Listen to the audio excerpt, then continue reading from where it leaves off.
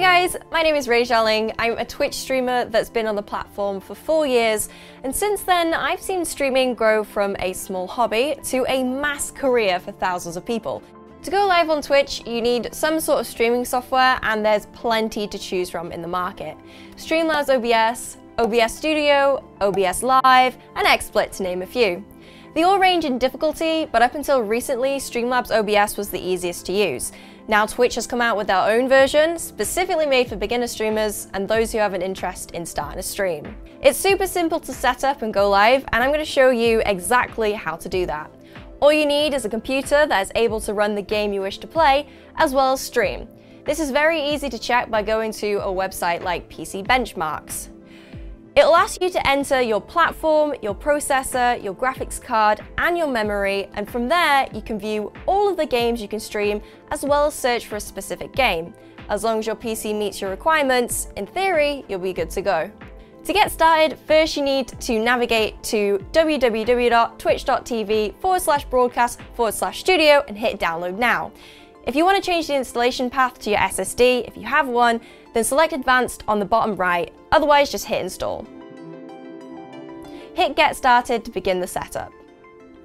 Now you'll see an audio setup page. Here you need to select your microphone. It will automatically choose what your system has selected as the microphone input, but if you want to select a different one, then click Change Mic and select a new one. You can also customize the sound of your microphone with the software to increase the gain, which makes the microphone pick up more audio and makes your voice louder, indicated by the bar below it. You can remove quiet noises by putting on a noise gate. This means that the microphone won't turn on unless a certain volume of audio is heard. It's great for removing the tapping sounds on your keyboard or background traffic. Another version of this is a noise suppressor. This one keeps your microphone open, unlike a noise gate, but it just suppresses the quieter noises. Loudness equalization is brilliant if you tend to scream and shout into the microphone like me. It makes sure that the overall sound of your microphone is equal and doesn't peak if your microphone tends to peak very often. This is bad and can hurt the viewer's experience. If you're a loud person, please turn this on. Next is the video settings. It will automatically detect a video source that your PC is enabled, like an inbuilt webcam, an external webcam, or even a camera that's hooked up via an Elgato Cam Link. If you don't have a camera or don't wish to use one, you can simply skip this. You can select a filter from a bunch of pre-made ones if you want to get a different look and tailor this to what you want. Continue to layouts, and this is where you can customize your overlay. Your overlay is what your stream sees. You can leave this as it is or you can adjust it slightly or completely by selecting Customize Layouts. The Twitch Studio Beta gives you three slides to play with initially. A main screen for yourself and your gameplay, a be right back screen for when you need to nip off screen, and a downtime screen which you can use in between games to talk to your audience. On the right hand side you can see the different customization options. You can change the color, your asset image, which is your follower alert or sub alert icon, and your wallpaper hit done and continue to the settings. By now, your setup should have run an automatic stream quality test to determine what your internet can handle outputting to Twitch. If it hasn't, just click rerun test. If you're not happy with the settings, you can modify them by clicking tweak settings.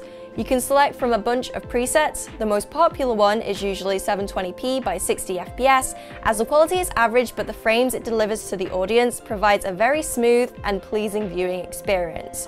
Alternatively, you can turn it up to 1080p, but keep in mind, although you might have super awesome internet, your viewers might not. And as a streamer or an affiliate, your viewers don't have access to quality settings, so they'll be forced to try and watch your stream at a higher quality. That's a pain for those with slower internet speeds. If you want to fully customize your stream quality settings, you can. Make sure your encoder is always set to NVENC. This uses your GPU to encode rather than your CPU, and unless you have a really beefy CPU, you will always want to use your GPU. Hit done when you're finished. Now you can see your previously created layouts in all its overlay glory. You now have the option to go live straight away or tweak a few little things. If you want to hide or swap the layout of your software, you can move the stream info and the chat. You can tweak this to your personal preference.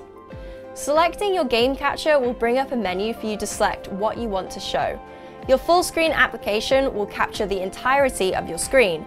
If you have two monitors, it will capture the main one, unless you select otherwise. To capture a game, select it under Windows. Make sure your game is running. If you have any issues capturing your gameplay, then select full screen capture. As this software is in beta, you may run into some issues. This is addressed on the Twitch Studio FAQ, so make sure to check that out and follow the instructions to fix your issues. Clicking next will lead you to your stream info menu. If you've used the Twitch dashboard and Streamlabs OBS before, this will look kind of familiar. Here you put your Twitch stream title. Try to make this enticing to attract viewers. Something about the game you're playing and a quirky sentence. Even a question can draw an audience in. Treat it like a YouTube video, except you're not able to control your thumbnails, so it's vital you get the title right. Next is your Go Live notification box. This is what the notification will say to your followers when you go live, so you should make this something welcoming. Next, select which category you're in, so which game you're playing, for example, followed by appropriate tags like beginner player or speedrun, or whatever is relevant to your stream. Finally, select the language you'll primarily be speaking on your stream, and clicking done will lead you back to the software. Now you're ready to go live. Do so by clicking go live at the bottom. If you want to customize your overlays even more to make it more personal, you can. You can add a start and soon screen, a full video screen, an ending screen, whatever you like. You can do that by clicking the plus button underneath your already made slides. With a blank screen, you can start to customize. You can add things on via layers and then layer one on top of another. If you're using Streamlabs Alert or any kind of browser, you can add this here by clicking the embed option and getting the URL from your alert and putting it in here. Click Save once you're done. On the bottom right, there's a cog icon. This leads you to the advanced settings of your stream. If you're fairly familiar with streaming settings, then you'll recognize most of this, but you usually won't have to go in here if you've already run through the initial setup. Something that you want to look at if you are thinking of recording your footage is setting the video file type. By default, this is set as FLV. You can change this to what suits you along with your video recording path. The audio tab also gives you a bunch more advanced audio settings, including mono conversion and adjustable settings for the compressor and noise gate. You can also macro your hotkeys too, which means by clicking a combination of keys, it will automatically stop and start your stream, mute your mic, and more things. If you have a Stream Deck though, I imagine support for this will roll out shortly, which will completely eliminate the need for hotkeys.